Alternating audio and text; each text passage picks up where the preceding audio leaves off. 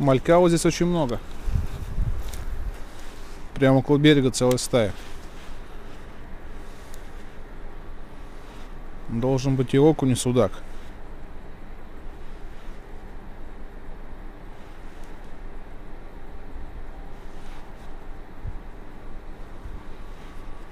Попробуем на джик.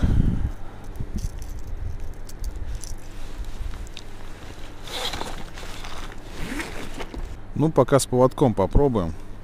А потом, если что, поводок снимем. Щуки на этом канале мало. Основная рыба это окунь. Ну и иногда судачок. Головка 3 грамма. И червячок Джакал Мибару Буша 3 дюйма. Посмотрим. Может быть сейчас вот под вечер что-нибудь да отзовется. Приехали уже поздно, в третьем часу.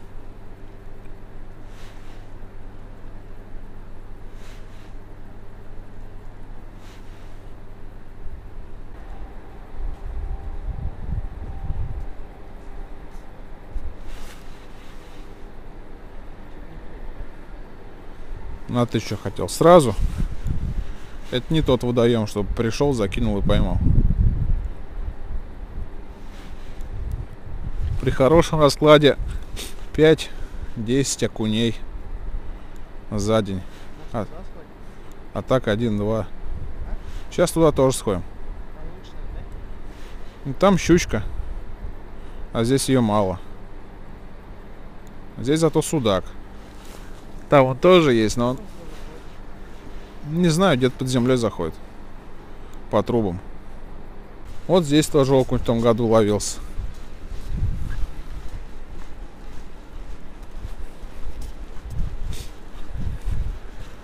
В этом году как-то здесь вообще плохо по спиннингу. Считаю, вот уже сегодня четвертый раз и толком ничего не поймали. Как гномы шли к горе, мы идем к трубе. Одинокая труба. Только их там две. Давай ты туда, я сюда, что ли. Вон что-то в пакете есть щучка. Нифига тут рагулик. Походу щука начала раздавать, что ли. Столько живечников сидит. Вода упала. Причем так здорово. Видимо, поэтому щука и начала клевать. Попробуем. Может, у нас есть шанс.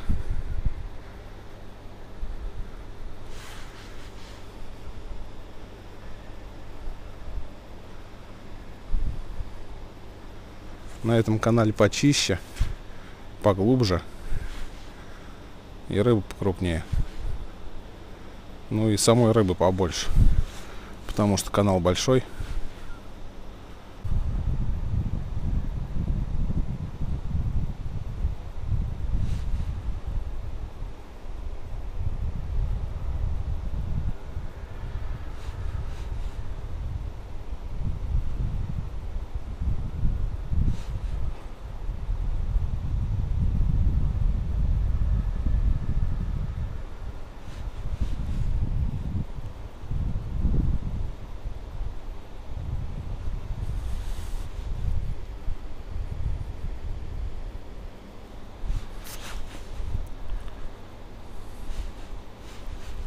Это что? А, срез.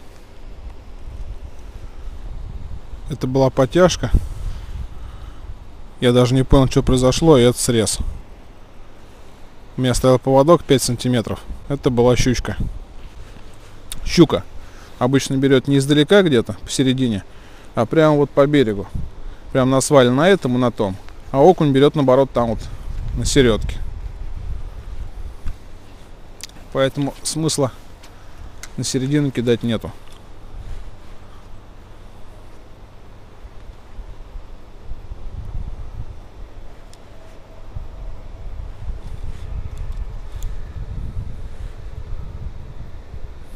А жерех еще вот не начал гулять. Обычно к этому времени уже начинает.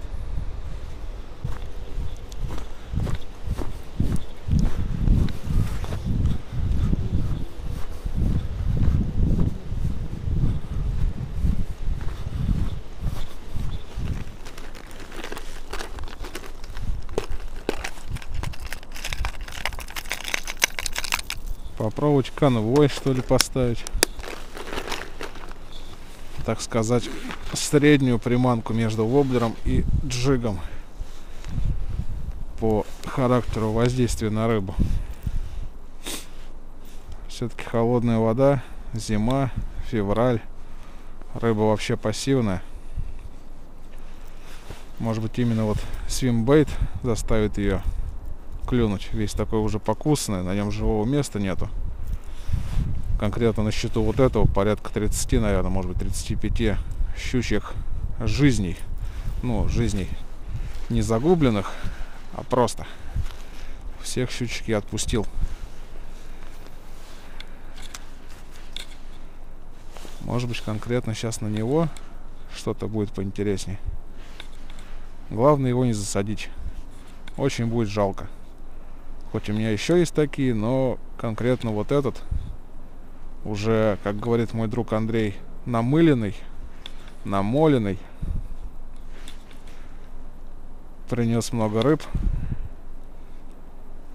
На нем много уже шрамов боевых, поэтому жалко. А проводка. Плавные потяжки.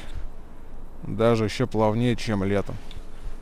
И пауза, на которой он тонет. Конкретно это тонущий. Ага, вот здесь у берега надо поаккуратнее. Тут вообще такой водоем, блин, сложный. Вся сложность в том, что очень много вот этого камыша, тростника. И вся щука в основном сидит прямо в нем. Это объясняет успех живечников. Они ловят прямо в окошках между травы вот этой, тростника. И ловят хороших щук. Самое большое, что я слышал, здесь ловили 4 килограмма. Ну а так килограмм, полтора попадаются регулярно.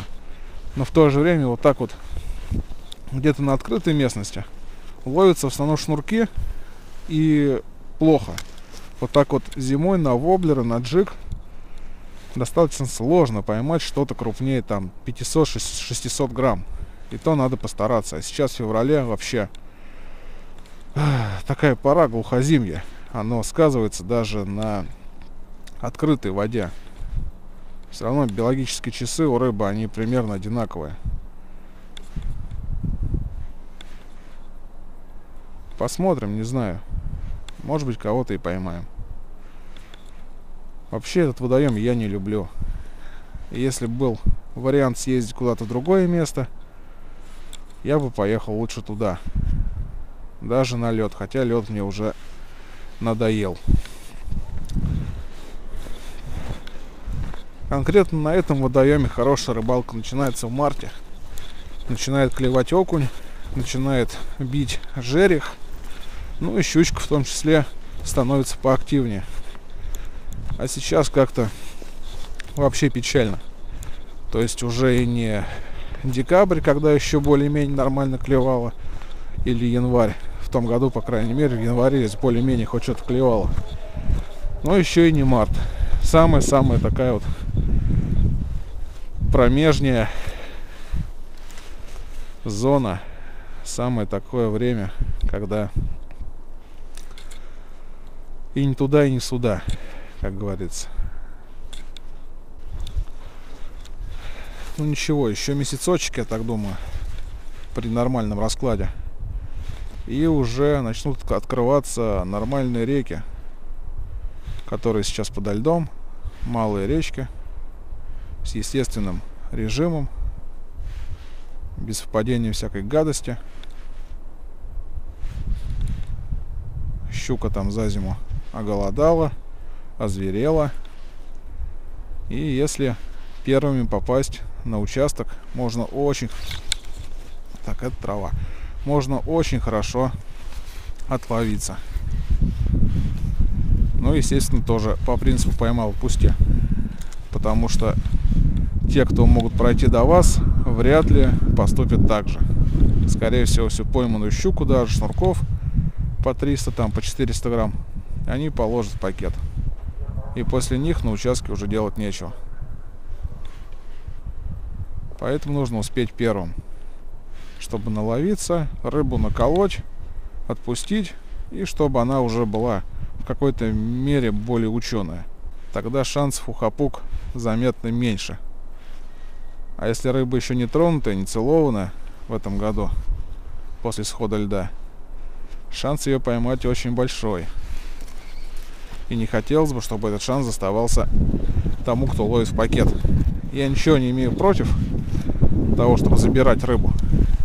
Но весной, перед нерестом, полную икры, тем более шнурков там, по 500-600 грамм, которые обычно ловятся. Ну, я не знаю. Наверное, это неправильно. С точки зрения закона легально, забрать ее имеет полное право, но с точки зрения просто здравого смысла и отношения к природе, ну, не совсем это нормально. Лучше дать ей отнереститься, отболеть и потом ловить свое удовольствие, жирующую после нереста щуку. Ну и взять там себе на еду одну-две, если очень хочется. А здесь, кстати, нерест будет раньше. Может быть, он уже здесь начался. Тут вообще непонятно. Зависит от зимы. Если зима холодная и котельная работает на полную, сюда сливают много теплой воды. Водоем не замерзает абсолютно. И щука не рестится буквально в марте, в конце февраля. Если зима обычная, как вот в этом году и холодно, и тепло, котельная работает с, переменом, с переменами, и половина водоем вот там вот ниже покрыта льдом. Там даже народ сидел в прошлый раз. Со льда ловили. И в это время я думаю, что щука будет нереститься где-то в середине марта. А может быть и в начале марта, а может быть уже и сейчас. Кто ее знает. Ну, длина дня еще не такая, чтобы щуки не реститься. Ну, всякое бывает. Но во всяком случае не клюет. Клюет только вон трава. Ну, одна поклевка вот была в самом начале там. Отрезала. Почему-то я так и думал, что там будет поклевка. Потому что у приятеля в том месте было 5 или 6 срезов. Где-то в январе, по-моему, еще он ловил. Все время в той точке стоит одна-две маленькие щучки. Такие грамм по 300, по 400. Если какой-нибудь дядька, конечно, на живца их не выловит, там все время кто-то трется.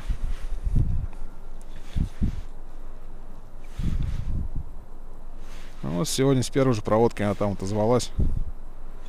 Отрезала.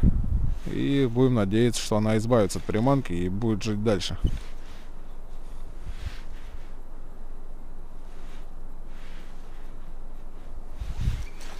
Вот такие прям места классные.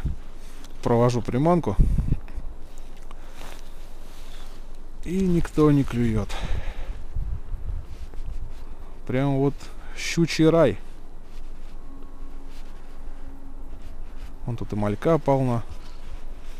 Ветки, палки. Тростник. Который я поймал. Но щука не клюет. Вот, таких местах здесь и ловят щуку. Просто дырка среди тростника. Вот сюда вот закидывают удочки. Вот следы поплавочные удочки и просто ждут на карася. И клюет хорошая щука. Но на спиннинг там половить просто нереально. На веке, если только. Но я не знаю. Стоять тут кунач. Ну так вот, наверное, все-таки выложу это видео. Чисто с той целью, что практика продолжается что я продолжаю ездить. Причем я ездил уже порядка, наверное, 7 раз на рыбалку, и за это время я не выложил ни одного видео. Потому что выкладывать было нечего. А, одно выложил вот с этого же водоема. Потому что погода была такая хорошая, компания хорошая. Просто решил выложить его как такое развлекательное. Хотя рыбы мы ничего не поймали. Одна щучка вот здесь где-то сошла. у товарища. Остальные видео я вообще не выкладывал, потому что там не было ничего. Ездил сюда три раза, ездил на лед два раза и нифига. Остается только сидеть дома и снимать какие-то обзоры, теоретические видео и еще что-то такое. Словно и не кончится эта зима. Вроде бы совсем уже, вот, все, почти вся прошла. Уже остается буквально меньше месяца до начала календарной весны. Ну и где-то так месяца полтора до начала климатической. Но это как всегда, чем оно ближе, тем труднее ожидание. Хочется, чтобы оно скорее наступило. Кажется, что вот оно уже рядом. Одни становятся длиннее. Время тянется дольше. И полностью превращаешься в одно сплошное ожидание. Я очень жду, когда наконец откроются маленькие речки. И можно будет вдоволь наловиться преднерестовой щуки. Здесь очень важный момент. Со льда я щуку не трогаю уже начиная с декабря месяца. Потому что ловля на живца, на жерлице, это ловля зачастую в заглот. И щуку отпустить шансов очень мало. Но вот на спиннинг я ловлю ее также и перед нерестом. Ловлю в основном на джиг, на воблера реже. И лишь с той целью, что джиг гораздо менее травматичен. Одна небольшая дырочка где-то в челюсти, и рыба улетает обратно в свою стихию целая и невредимая. А с воблерами бывает так, что и не отпустишь. Но бывает ловлю и на воблера, когда условия такие, что лучше клюет на воблер. Но опять же стараюсь ставить воблера покрупнее, с максимально крупными тройниками, чтобы щука их туда особо в жабры не глотала. Но еще стоит заметить один такой момент, что весной, вот именно в марте, когда открываются реки с естественным терморежимом, в основном ловится щука весом до килограмма. И 90% этой щуки это самцы. Самки, набитые икрой, практически не клюют. Я это уже замечал. И в то время, когда забирал рыбу, потрошил, практически вся рыба была с молоками. Ну и по размеру щук видно, что это самцы. Они тонкие, маленькие, худые. Поэтому весной перед нерестом щуку ловить можно, но опять же отпускать, даже самцов. Блин. Ну вообще вот, хоть бы что-то. Очень-очень скучно. Ездишь, ездишь и нифига. Сейчас бы ввалился какой-нибудь бонус. Килограммчика на два. Было бы вообще шикарно. Сразу бы весны ждать расхотелось. Но нет. Это всего лишь мечты.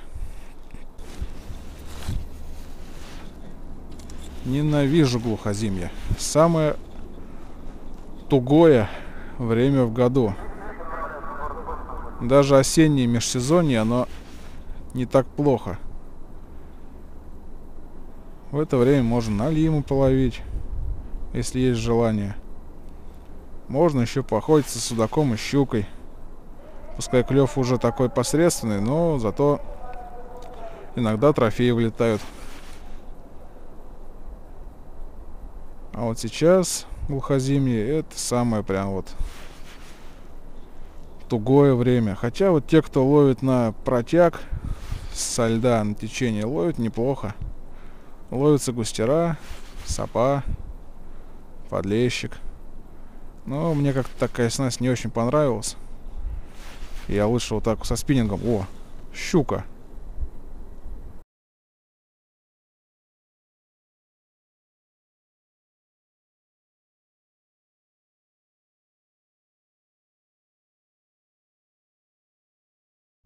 Щука атаковала. Какую-то мелочь. Прямо вот здесь.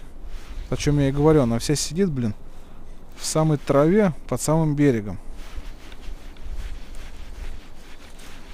как ее оттуда выцедить?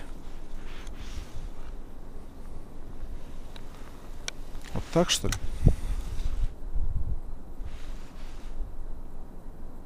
Давай.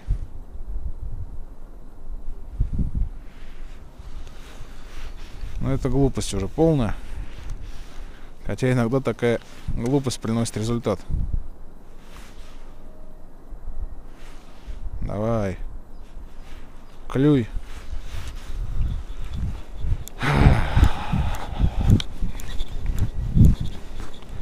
Ну что, друзья, вот, наверное, вся рыбалка. У Никиты там какая-то неприятность случилась, когда он подсекал на фидер. Наверное, сейчас придется нам ехать домой.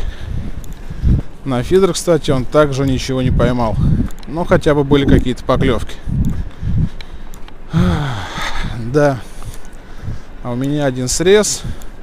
Одна поклевочка какая-то невнятная. И больше ничего. Ну, от этого водоема я примерно такой рыбалки ждал. Ну что ж, будем ждать дальше. Будем ждать нормальной рыбалки, нормальных водоемах. Благо остается недолго. Еще месяцок, а может быть даже и меньше. И отправимся уже на нормальные водоемы. А там и пора последнего льда следом придет. То есть еще нормальная рыбалка будет до начала запрета. Но начнется запрет, будем ловить на поплопоперы, которые мне приехали. Можете посмотреть обзор по этой ссылке. Ну и попробуем половить на поплавочную удочку. Давно этим не занимался. Года, наверное, 2-3. Так что прям целенаправленно. В этом году, наверное, займусь еще и поплавком. Половим карася, плотву. Пока будет длиться двухмесячник который у нас начнется 10 апреля. Ну а до этой поры половим на спиннинг. Может быть даже судака. Если в этом году получится, если погода позволит открыться участку Клязьма, если весна будет дружная, то еще есть шанс успеть половить судака. Ну а на этом все, друзья. Вот такая получилась рыбалка. Два часа, две поклевки. Все, собираемся домой. Сейчас дойдут до друзей. Смотаем с Настей, сядем в машину и поедем. Все, всем пока. Удачи, больших трофеев и ни хвоста, ни чешуи.